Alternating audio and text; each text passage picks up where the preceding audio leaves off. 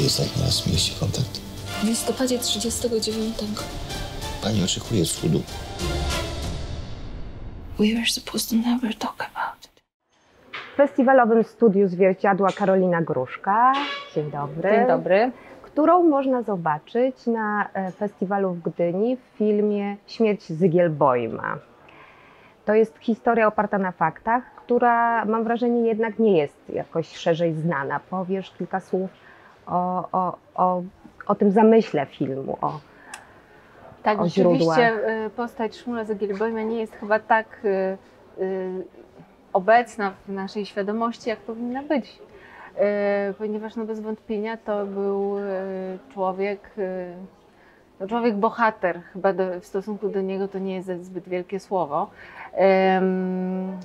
To jest y, jego historia, która wydarzyła się podczas, y, no, w- w- te, ten moment, o którym opowiadamy, to jest II wojna światowa.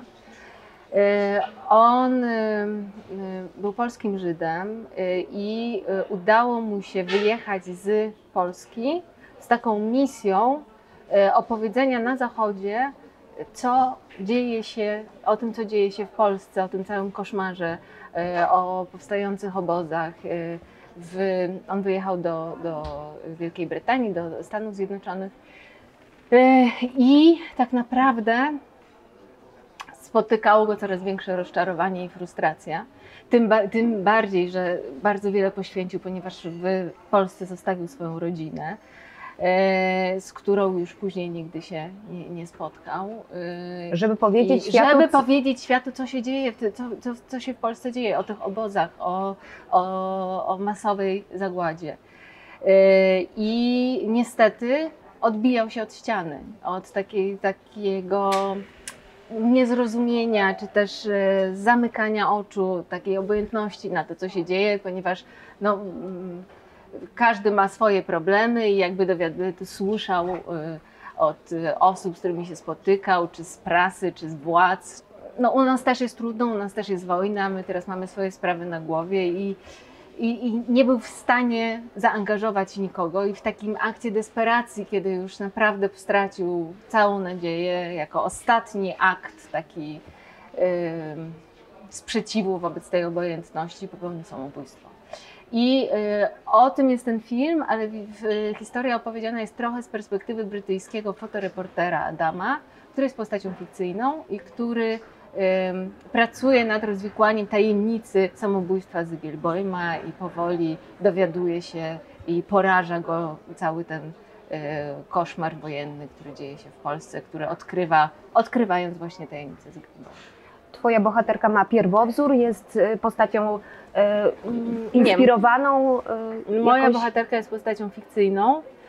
Y, To, co jest w niej interesujące, to to, że ona ma w pewnym sensie bardzo podobny y, los do losu Zygielbojma. On- y, Ona co prawda nie angażuje się politycznie, nie, ale y, tuż przed wybuchem wojny ona y, decyduje się wraz z mężem, synem, że wyjadą do Londynu, przeprowadzą się do Londynu. Ona wyjeżdża, a mąż wraz z synem z jakiegoś błahego powodu, jakiejś tam choroby, przeziębienia, mają dojechać parę dni później, wybucha wojna, oni nie dojeżdżają. No i już oni się nigdy też nie spotkają. Y, Ona na początku piszą do siebie listy, myśl, obmyślają sposób, jak się z powrotem połączyć, później te listy przestają docierać. Ona zaczyna się dowiadywać ze strzępków jakichś informacji y, o tym, że oni trafili do obozu y, i wreszcie, że, że zginęli, że zostali zamordowani. I tak naprawdę jedyną osobą, która ją y, jest w stanie jakoś zrozumieć, w której ona widzi, że, on, że czuje, on, że czuje tę, samą traumę, którą ona w sobie nosi, jest Zygielbojm, którego ona spotyka w Londynie. Jest kilka takich scen, gdzie oni mają szansę się spotkać, porozmawiać. y, Tak naprawdę dla niej, dopóki on działa, dopóki on żyje, dopóki on y, jeszcze ma w sobie siłę, to ona też tę siłę w sobie próbuje jakoś odnaleźć. E, A kiedy dowiaduje się o jego y, samobójstwie, no to gdzieś, gdzieś ta, ta, ta próba odnalezienia w sobie tego, co żywe, jest, jest już coraz taka bardziej karkołomna dla niej. Większość tego filmu rozgrywa się w Londynie. Rzeczywiście e, większość zdjęć powstawała w Anglii. Jak zdradzisz kulisy? E, Było kilka dni zdjęciowych w, w Mhm. Anglii, natomiast e, Górny Śląsk w dużej mierze też imitował londyńskie ulice z lat 40. y, I tutaj wielki ukłon w stronę naszego scenografa, który zrobił to tak, że, że rzeczywiście można w to uwierzyć. Niesamowite. To muszę powiedzieć, rzeczywiście świetnie swoją rolę, rolę Śląsk zagrał. A jeśli chodzi o kostiumy, bo to jest właściwie, właściwie chyba można powiedzieć, że, że, że jest wiele filmów kostiumowych w Twoim dorobku. To, to, to już. e, Tak, są takie rzeczy, do których ja mam szczęście i się śmieję, że to jest do, do filmów kostiumowych i do y, filmów, w których muszę grać w obcych językach. No i tutaj znowu jest film kostiumowy i znowu duża część filmu jest grana y, po angielsku. To ja najpierw zapytam o te kostiumy, bo e, całkiem niedawno rozmawiałam z aktorką, która powiedziała mi coś takiego, że wystarczy, że założy odpowiednie buty i już jest w roli, że to ma taką e, siłę. E, Ty masz podobnie, rzeczywiście, jak, na ile ten kostium jest dla Ciebie ważny? Bardzo ważny, bardzo. I tak naprawdę im bardziej kostium odbiega od tego, w czym ja chodzę na co dzień, tym jest ciekawy, bo on narzuca jakąś formę, do której trzeba się dostosować. Jak, się, jak tę formę oswoisz, no to nagle się okazuje, że, że trochę inaczej funkcjonujesz w tym i, i trochę inna energia z ciebie wypływa i to jest ciekawe.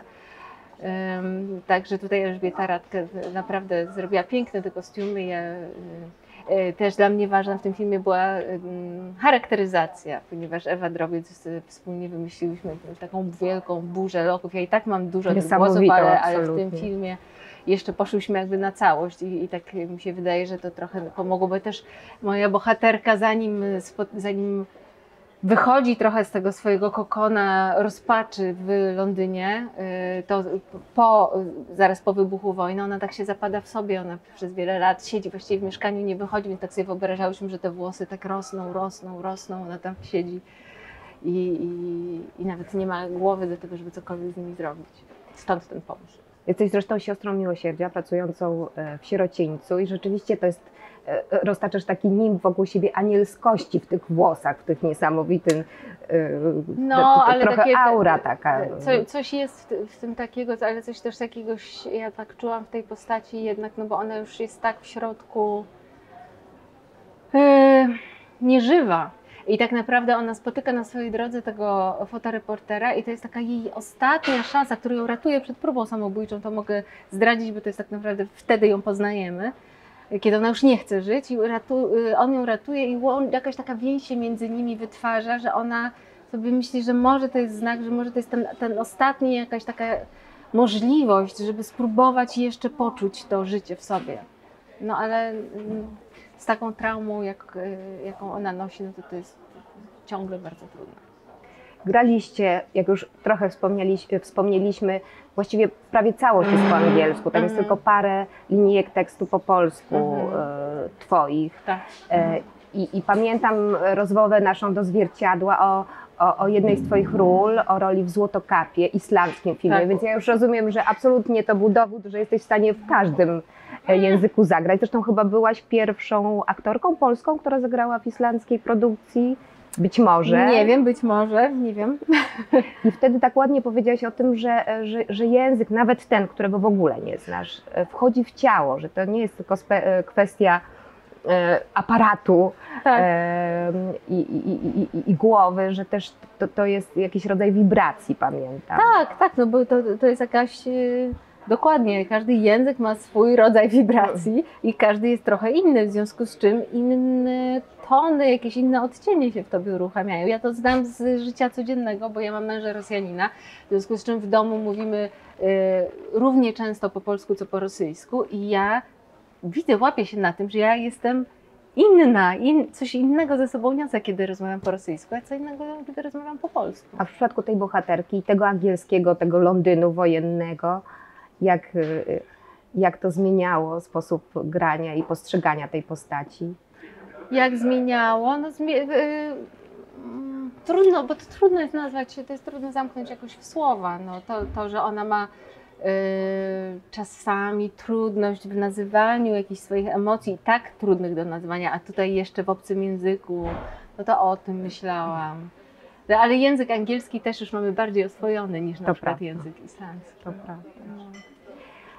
A jeśli chodzi o sceny, jest tam, to możemy też, mam nadzieję, zdradzić, są tam takie sceny mm, intymne i, i tutaj właśnie w tym miejscu, w pierwszym dniu festiwalu rozmawialiśmy z Tomaszem Kolankiewiczem, dyrektorem Mhm. artystycznym. Mówiliśmy o tym, jak branża się zmienia, między innymi. Mówiliśmy o kobietach kina, kobietach e, filmu i, i, i o tym, co robi branża, żeby kobiety były w lepszej sytuacji.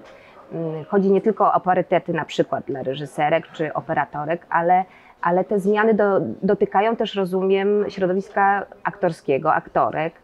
E, Jak ty to widzisz, czy, jak, jak to się rozwija? Czy, czy ty już spotykasz się na przykład z asystentkami intymności na planie? Czy to ci się już zdarzyło? Czy zdarzyło ci się na przykład pracować na planie, gdzie jest opiekunka do dzieci? Bo o to zdaje się walczą już związki zawodowe za granicą i u nas to Opiekunka się też dzieci zaczyna. moich w sensie. Tak, tak. Aha, nie, to nie. Nie, to jeszcze, y, jeszcze o, nie, nie miałam ani asystentki od scen intymnych, ani, ale nie wiem, czy chciałabym mieć. No nie, właśnie, nie jaka jest, jak Bo nie jest za bardzo. twoje My- spojrzenie? Znaczy, może to też zależy od tego, jak daleko posunięte są te sceny. Nie wiem. Ja mam wrażenie, że od, przez te lata bycia w zawodzie i gr- grania różnych scen, to jakoś wyrobiłam w sobie taką swoją intuicję na temat tego, co jest dla mnie ok, co nie jest dla mnie ok, jak, na co jestem otwarta i, i, i co jest dla mnie komfortowe. Także ja takiej nie, nie, nie za bardzo widzę potrzebę akurat taką.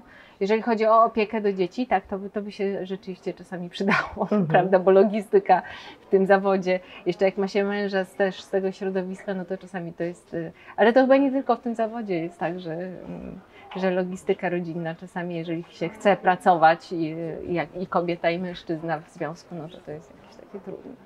A ty widzisz w ogóle te zmiany? Ty potrafisz je dostrzec ze, ze, ze swojej perspektywy, zmiany na lepsze dla kobiet? Z iloma e, reżyserkami pracowałaś do tej pory? No ja zaczynałam u reżyserki, więc ja mam Właśnie. trochę inną perspektywę, bo ja zaczynałam u Izabeli Cywińskiej, bardzo e, wspaniałej, cudownej osoby, bardzo silnej kobiety, w związku z czym ja dorastałam w takim poczuciu, że kobieta, reżyser na planie to jest absolutnie coś normalnego i, i że, mm, że sobie może świetnie radzić i w ogóle, no, znaczy w ogóle nie myślałam nawet w tych kategoriach. E, I no teraz rzeczywiście to, co jest fajne, to to, że y, więcej jest tych kobiet reżyserek, bo wtedy to było można policzyć na palcach u jednej ręki, a w tej chwili jest ich coraz więcej. Te historie też są coraz ciekawsze, pisane dla aktorek i nie tylko dla młodych dziewczyn, ale też dla dojrzałych aktorek, no więc to chyba się zmienia. To jest, y, to jest ciekawe i, i fajne dla nas, że y, no, że nagle się okazuje, że bohaterka 40-50-letnia e, może być e, bardzo atrakcyjna, ciekawa dla widza do oglądania, bo przez lata nam się tłumaczyło, że to już, że już nie. Rozumiem. Jakoś mam dzisiaj najwyraźniej zacięcie matematyczne, bo pytałam o te proporcje Mhm. reżyserek e, i reżyserów, a w takim razie zapytam, a który to już twój raz w Gdyni na festiwalu?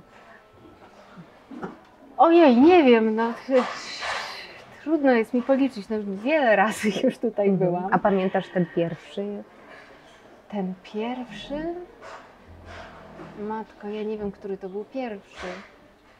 No na pewno byłam z przedwiośni, ja chronologii nie pamiętam, na pewno byłam z przedwiośni, to Mhm. pamiętam jako taką bardzo barwną historię, z Filipem Bajonem byliśmy i z całą obsadą przedwiośnia. No na pewno były, byli kochankowie z Marony, kiedy dostałam tutaj nagrodę, ale niestety nie mogłam jej odebrać, ponieważ byłam wtedy akurat w Stanach Zjednoczonych i pamiętam, że było mi przykro, że tak y, takie wydarzenie mnie ominęło. No a tak, no to zawsze, tylko niestety coraz częściej to jest tak, tak jak ja dzisiaj jestem, Tak. że... To już nawet nie będę pytać, ile filmów zobaczyłaś.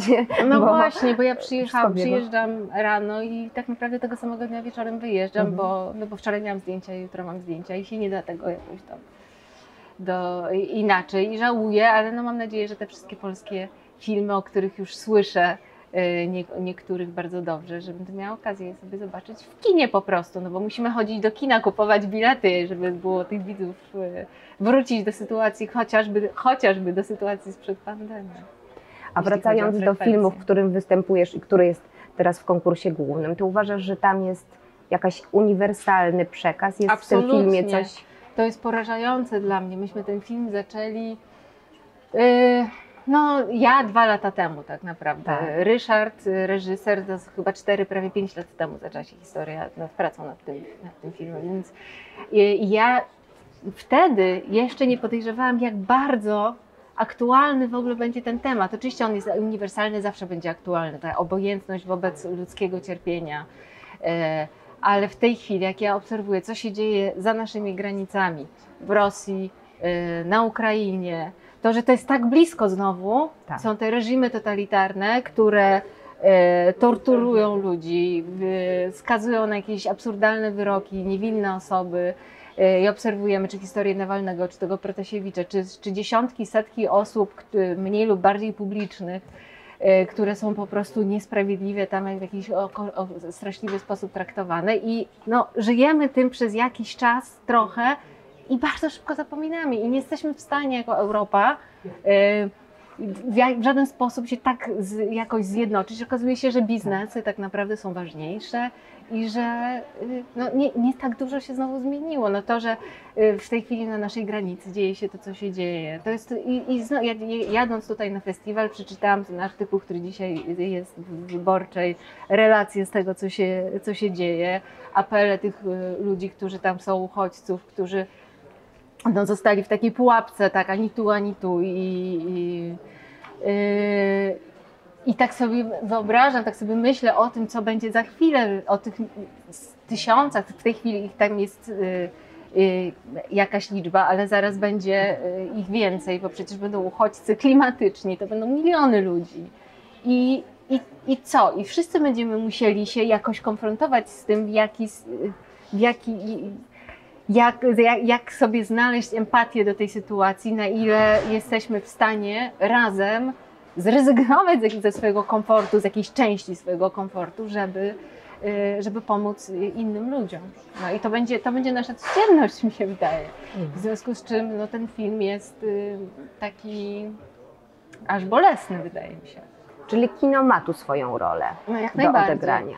Jak najbardziej, jak najbardziej wydaje mi się, że musimy o tym jak najwięcej w tej chwili mówić, że to jest, y, no, nie wiem czy nie problem numer jeden. Dziękuję bardzo za Dziękuję. rozmowę.